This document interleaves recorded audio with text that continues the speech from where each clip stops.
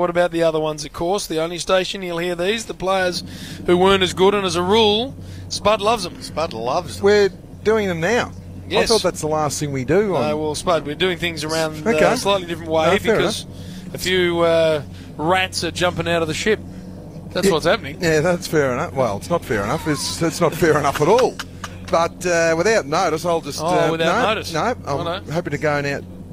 Jack Watts, uh, one vote. Oh, no. Oh, he kicked a two couple. goals. Yeah, he had six You know what? kicks and You turned what, three of them over. You're picking No, low-hanging not. fruit. No, he it's- is. he's Jack been in really Watts good form. Tackled well, kicked two on. goals. Come on, He's Spud. got to put them together. There was, He's there right. played was, for there seven was- years now. There was 15 players worse, I worse than Jack Uh, Watts Tom. McDonald, Oh, no. two vote because he Nick Riewoldt ripped him a new one today. Oh, okay. Absolutely, and Tom, they reckon Tom McDonald's a great athlete. Well, oh. he's not as good as Nick I Riewoldt, that's think for you have sure. to be Nostradamus to pick the next one. Oh, no. I reckon Spud. you might be. Sure, don't you laugh? You hand him these I had stats. nothing to do with You it. like you like a little sniper. You are in the bushes. This guy normally has a lot of handball receives. He, he only had four or five. He turned two of his four kicks over, so he went at fifty percent. And uh, I didn't think he was having such a bad day till I look at the stats and you called him out, JB, about 20 minute mark of the third quarter.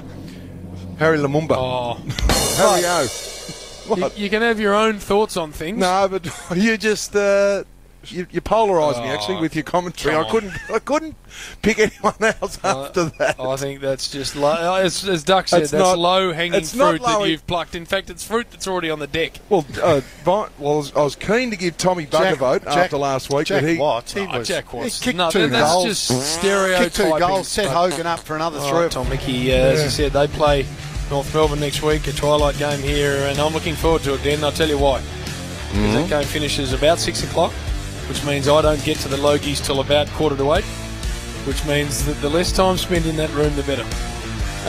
that is as bad a night as you'll stumble across Logies. well, I gathered that, that is next Sunday. what you were saying. So you just, uh, the, the, sometimes less is more, Spud. Yeah, I uh, so. do you get nervous on a night like that, No. uh, Tony JB? Barrett likes expecting, going, to, expecting to win? No. the Warrior and Hutchie like Man, going, don't they? Yeah, Man, they love it. Manbrook is the favourite footy show, isn't it? Warrior, Favourite for the- I wouldn't have thought so, Spud. Uh, uh, uh, Duck.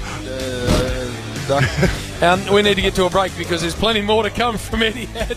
Den, I've never seen a man more prepared to depart than you, Den. You've got that look in your again. show, doesn't He's show that plan now. It's, he looks at the clock and it's That's about it. three minutes to go No, in the game, and he's, it. No. zipped He's it up. all ready to go.